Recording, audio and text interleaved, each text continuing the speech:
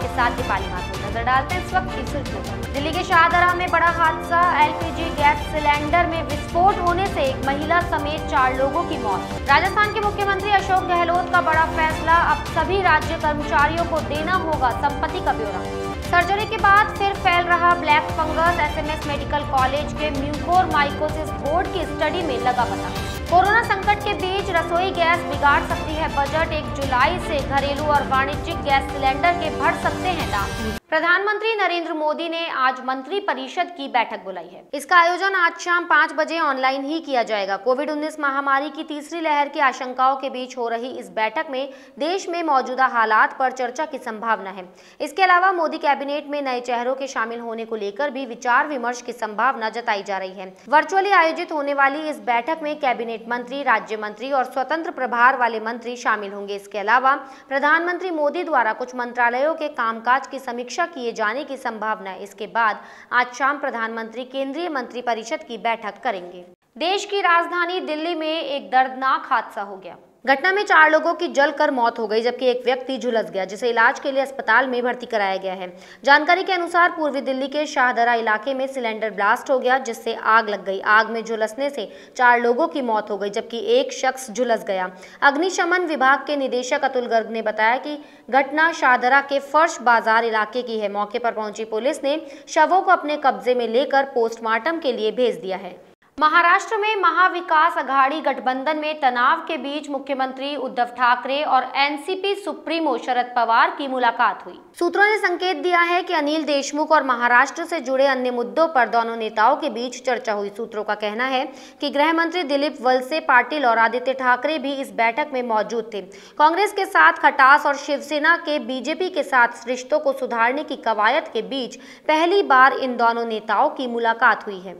Corona virus के खिलाफ टीकाकरण अभियान में सरकार ने एक अहम बदलाव किया है। एक जुलाई से प्राइवेट अस्पताल अब सीधे वैक्सीन निर्माता से टीके नहीं खरीद सकते हैं। उन्हें अब कोविन पर वैक्सीन का ऑर्डर देना होगा। इतना ही नहीं, केंद्र सरकार ने वैक्सीन की मंथली स्टॉक की लिमिट भी तय करने का फैसला लिया है।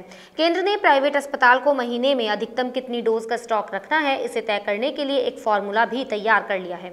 प्रदेश को केंद्र की ओर से समय पर वैक्सीन आपूर्ति नहीं होने पर मुख्यमंत्री अशोक गहलोत ने चिंता जताई है। गहलोत ने कहा कि जब केंद्र सरकार ने 18 वर्ष से अधिक आयु के लिए 21 जून से वैक्सीनेशन का ऐलान किया, तब केंद्र सरकार ने राज्यों को भरोसा दिया था कि वैक्सीन की कमी नहीं आने दी जाएगी। लेकिन ऐसा नहीं हो रहा है। राजस्थान को आवश्यकता अनुसार वैक्सीन नहीं मिल रही है, जिसके कारण बार बार वैक्सीनेशन का काम रोकना पड़ रहा है। इससे आमजन में आक्रोश फैल रहा है। प्रदेश में अभी तक लगभग दो करोड़ चौवालीस लाख वैक्सीन लगाई जा चुके हैं। एवं प्रतिदिन पंद्रह लाख वैक्सीन लगाने की क्षमता है। अगर केंद्र सरकार समय पर उचित मात्रा में वैक्सीन उपलब्ध करवाए तो थर्ड वेव का खतरा समाप्त हो सकता है। राजस्थान की अशोक गहलोत सरकार ने बड़ा निर्णय लिया है। अब राज्य के सभी करीब साढ़े आठ लाख कर्मचारियों के लिए अचल संपत्ति का विवरण देना अनिवार्य कर दिया है। इनमें टॉप ब्यूरोक्रेट्स से लेकर पियोन तक सभी शामिल होंगे। पहले केवल राजपत्रित अधिकारियों के लिए ही प्रॉपर्टी डिक्लेरेशन अनिवार्य था, लेकिन अब ये सभी राज्य कर्मचारियों पर लागू होगा। प्रदेश के कर्मचारियों को इकतीस अगस्त तक अनिवार्य रूप से अपने अपनी संपत्ति का ब्यौरा देना होगा। अचल संपत्ति को विवरण नहीं देने पर कार्मिक का वार्षिक इंक्रीमेंट एवं प्रमोशन प्रभावित हो सकता है। कर्मचारियों को एक जनवरी दो हज़ार इक्कीस की स्थिति में अपनी अचल संपत्ति का विवरण देना होगा। सर्जरी होने के बाद भी ब्लैक फंगस फिर से फैल रहा है। राजस्थान के सबसे बड़े अस्पताल एसएमएस मेडिकल कॉलेज के म्यूकोर माइकोसिस बोर्ड की स्टडी में ये पता चला है। एसएमएस अस्पताल में अब तक इस तरह के 27 केस आए हैं। प्रॉपर मेडिसिन नहीं लग पाने से फंगस भी बढ़ सकता है। एसएमएस अस्पताल में अब तक 450 ब्लैक फंगस के मरीज़ पहुँचे हैं। इनमें से 410 लोगों की सर्जरी हो चुकी है। ब्लैक फंगस के करीब पच्चीस लोगों में ये फंगस दिमाग तक पहुँच गया, जिससे उनकी मौत हो गई है।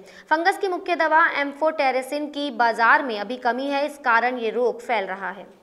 राजस्थान में 18 जून को प्रवेश करने वाले मानसून की सुस्ती ने आम जन और किसानों की चिंता बढ़ा दी है। एक तरफ़ सूर्य के तीखे तेवर से अधिकांश शहरों में तापमान 40 डिग्री के पार चला गया तो दूसरी तरफ़ उमस भरी गर्मी ने लोगों का जीना मुहाल कर दिया है। वहीं किसान भी फ़सलों को लेकर चिंतित नज़र आ रहे हैं। मौसम विभाग की माने तो मानसून की सुस्ती से ये इंतज़ार और भी लंबा हो सकता है। अभी परिस्थितियाँ मानसून के अनुकूल नहीं है। स्काईमेट वेदर रिपोर्ट के अनुसार फ़िलहाल पूरे उत्तर भारत में ब्रेक मानसून की स्थिति है। कम से कम अगले एक सप्ताह तक यही स्थिति रहने वाली है। उम्मीद जताई जा रही है कि छह जुलाई के बाद मानसून फिर सक्रिय हो सकता है। आज सप्ताह के तीसरे कारोबारी दिन शेयर बाज़ार हरे निशान पर खुला। बॉम्बे स्टॉक एक्सचेंज का प्रमुख इंडेक्स सेंसेक्स दो अंकों की तेज़ी के साथ बावन के स्तर पर खुला। नेशनल स्टॉक एक्सचेंज का निफ्टी इकसठ दशमलव नब्बे अंकों की बढ़त के साथ पंद्रह के स्तर पर खुला। आज एक हज़ार पाँच सौ तिरपन शेयरों में तेज़ी आई, पाँच सौ चौवन शेयरों में गिरावट हुई और चौंसठ शेयरों में कोई बदलाव नहीं हुआ। पहले ही कोरोना ने लोगों की रसोई का बजट बिगाड़ रखा है। इसके अलावा पेट्रोल, डीजल ने आग में घी का काम कर रखा है। ऐसे में अब रसोई गैस आम आदमी का बजट बिगाड़ सकता है। घरेलू गैस सिलेंडर के दाम में अट्ठावन रुपए तक की वृद्धि संभव है। ये बढ़ी हुई दरें कल से लागू हो सकती है। इसके अलावा वाणिज्यिक सिलेंडर में भी सत्यासी तक की वृद्धि हो सकती है। गैस डिस्ट्रीब्यूटर एसोसिएशन ने इसकी पुष्टि की है। इस बुलेटिन में फ़िलहाल इतना ही। अगर आपको हमारा वीडियो पसंद आया हो तो हमारे चैनल को लाइक, शेयर और सब्सक्राइब ज़रूर करें।